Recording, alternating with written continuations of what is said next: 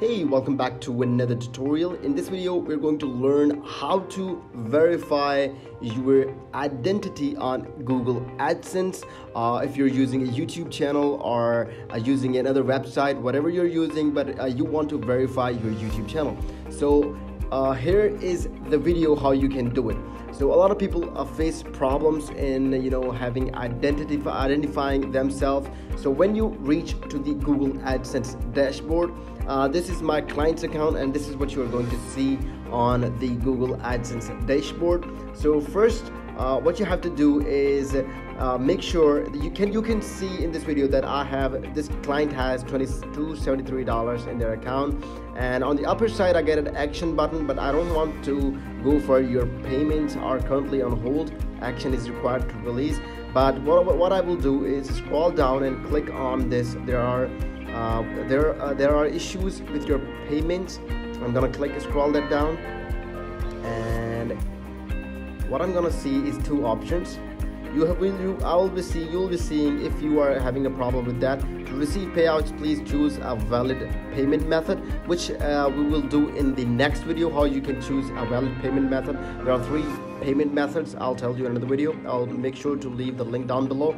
And but in this video our topic is verify my identity to receive payments. So what I have to do is click on the verify your identity to receive payments. I will I'll click on verify.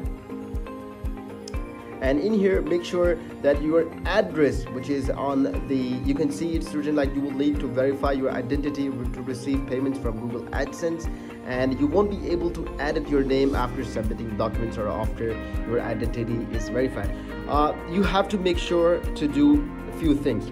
Make sure the address you're using is uh, your name and address should be accurate.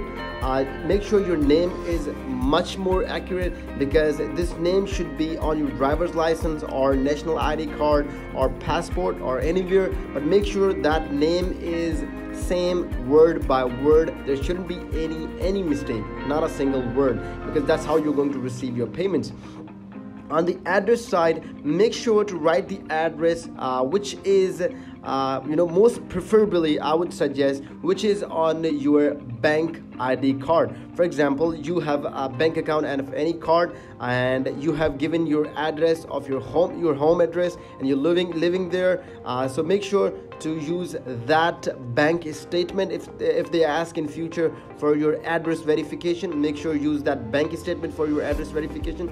So what i mean by that make sure you have the address which is also on your bank account address so uh, that there are two things you must remember. So on the id card you can use driver's license national id card passport anything. All you have all you need is to take a picture of uh, and on the front side crop it down to a small size that everything is neat and clear. And when you're done with that uh, make sure to go and click on select a file and select your documents.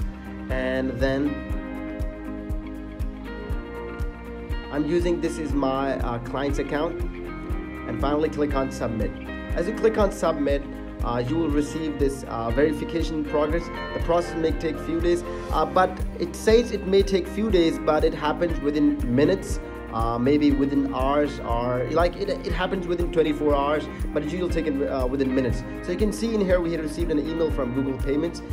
With google identify identify identify identify verification successful which means we are successfully identified and we you receive an email like this.